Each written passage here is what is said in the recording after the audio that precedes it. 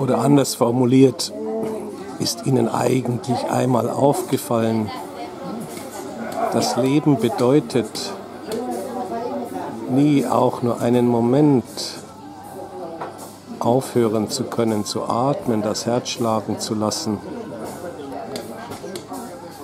und herum scherwenzeln zu müssen, immer in Aktion zu sein, nie stillstehen können, um zu leben, um zu überleben und sich fortleben zu machen.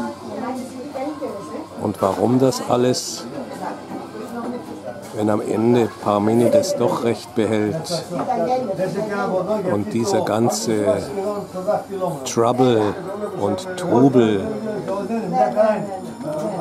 und Kinderkettenkarussell doch stillstehen wird.